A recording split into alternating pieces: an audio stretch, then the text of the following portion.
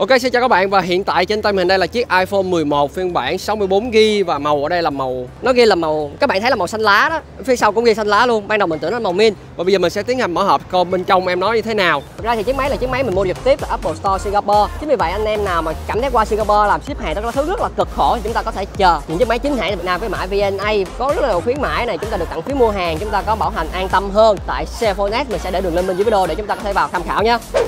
Ok. Phía sau mình là Apple Store luôn, mình mới vừa lấy máy. Và đây là chiếc máy của chúng ta. Đây màu rất là đẹp. Ok Ở dưới hộp chúng ta sẽ có một cái củ sạc. À, Nếu iPhone 11 thì chúng ta chỉ có cái sạc thường thôi, không phải là sạc nhanh.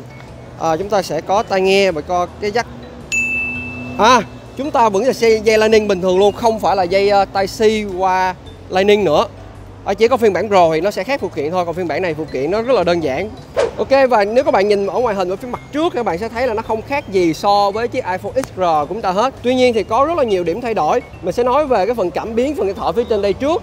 Thì bây giờ thì hiện tại camera trước của nó đã lên tới 12 chấm rồi và có nhiều tính năng rất là thú vị hay ho trong phiên bản này. Để ra cho các bạn xem.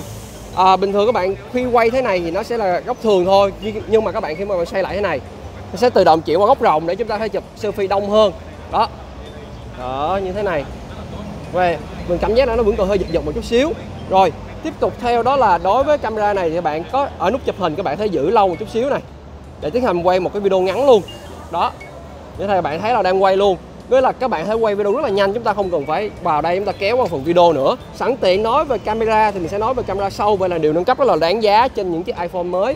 Thì đối với iPhone 11 thì chúng ta sẽ có hai ống kính, một ống kính góc thường và một ống kính góc rộng và các bạn thấy là cái cái độ chuyển của hai ống kính này rất là mượt và cái góc nó không bị thay đổi. Và mình sẽ dành thêm thời gian để mình mà có thể chia sẻ hơn về hai ống kính này. Có rất là nhiều thứ ờ, mình đang trông chờ chiếc máy này mà mình đang cần thời gian hơn. Ví dụ như camera trước hiện tại có thể quay được quay phim 4K luôn và nó rất hợp cho những anh em nào đang là youtuber, thích làm vlog.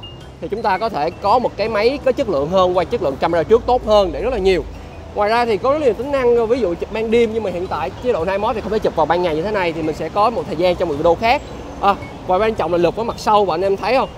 À, cái màu xanh năm nay nó rất đẹp luôn. Đấy cái mặt kính của nó sẽ là mặt kính bóng. Tuy nhiên cái phần camera phần cụm camera thì nó sẽ kính nó sẽ nó sẽ có màu khác hơn một chút xíu để mà chúng ta có thể phân biệt được. Và phần kính này nó rất đẹp. À, cái màu này thì mình cảm giác nó giống như là màu bạc hà hơn là màu xanh lá cây giúp cho chúng ta có cảm giác ờ, xài máy khá là thoải mái. Tuy nhiên mình nghĩ là khi mà anh em xài ở nhà cái ốp lưng như thế này anh em sẽ bỏ cái ốp lưng vô là nó chúng ta chỉ còn phần cụm camera thôi. Về cần cụm camera này về phần kích thước các bạn sẽ thấy là nó hơi nhỏ một chút xíu so với phiên bản Pro.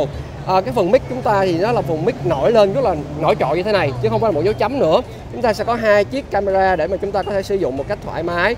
Một cái camera góc thường một camera góc rộng và nó sẽ có chống rung ở camera thường 12 chấm cả hai đều là 12 chấm hết. Và mình rất là thích cái cách mà Apple họ đã làm cái phần hoàn thiện với phần mặt lưng này vào phần cụm camera giúp cho chiếc máy này nè các bạn thấy là nó sẽ hơi nhô nhẹ lên và trông rất là đẹp rất là hoàn thiện. Bởi vì đây là một cái tấm kính nguyên khối chứ không phải là hai miếng kính ốp lại với nhau. Ngoài ra thì mọi cái những thứ khác thì gần như nó không thay đổi nhiều so với iPhone XR cả về nút nguồn này cả về nút tăng giảm âm lượng này và cái cổng bên dưới thì cũng tương tự nhau hết. À, anh em cũng thấy đây là một trong những chiếc máy đầu tiên mà mình mua tại Apple Store Singapore.